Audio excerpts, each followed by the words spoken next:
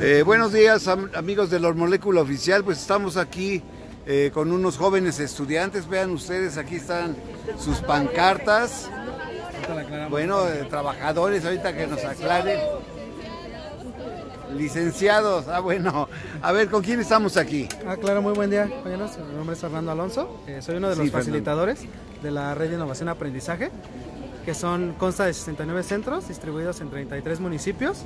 Todo esto auspiciado por la Fundación Proacceso Eco, que es nuestro patrón. Somos docentes, la mayoría eh, impartimos clases de diferentes ámbitos que tiene que ver con la tecnología en dichos centros.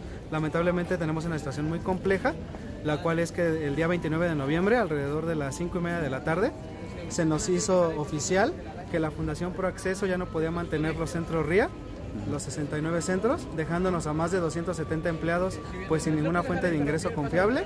Además, ya, ya teníamos una deuda de tres quincenas pendientes, así como otras bonificaciones o prestaciones que por ley eh, nos venían manejando la empresa.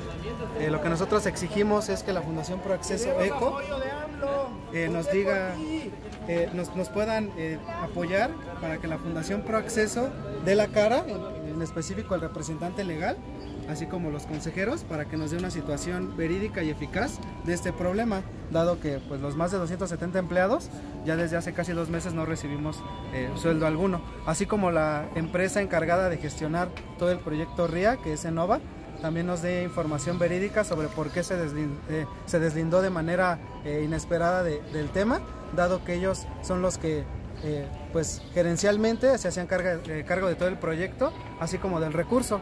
Este recurso venía de un eh, patrocinador muy importante a nivel estatal, como lo es el Comecit.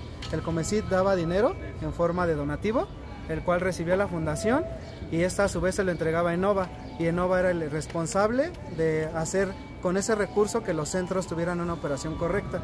Entonces lo que nosotros exigimos es que estas dichas entidades respondan de manera verídica y eficaz ante nuestro eh, pues extenso pedimento de poder recibir lo que por ley nos compete. Bueno, ¿qué piensan hacer ahorita? Este, nuevamente repíteme tu nombre para que el público lo escuche. Es Fernando Alonso Villalobos, soy un facilitador más de uno de los centros RIA. Lo que estamos planeando en conjunto es ir primero a, las oficinas de los derechos humanos para poner igual una queja allí y de igual manera pues ir a las oficinas de NOVA a buscar eh, algún otro tipo de respuesta inclusive eh, asesorarnos ya por la vía legal, ya muchos estamos tomando acción en eso para poder proceder conforme a la ley como trabajadores. Que ¿Cuántos trabajadores están siendo afectados? Somos alrededor de 270 empleados.